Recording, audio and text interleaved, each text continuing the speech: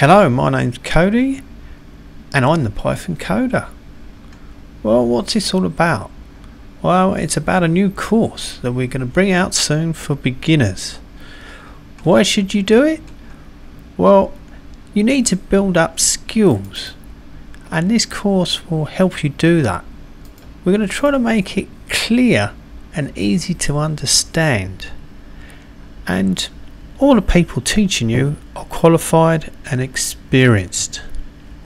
So who's it for? Well it's for anyone who wants to learn how to code and specifically code in Python.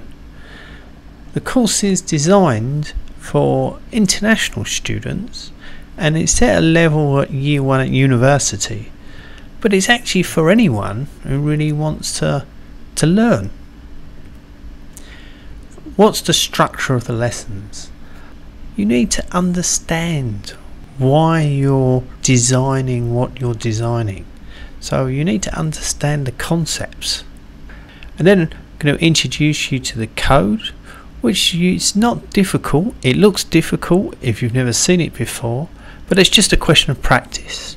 So I will give you some practice and will help you with that, explain the answers and tell you any terms that you might need to know as well.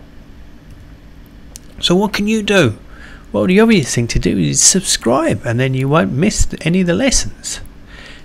You can learn and enjoy. So good luck with your studies and join us for the next video.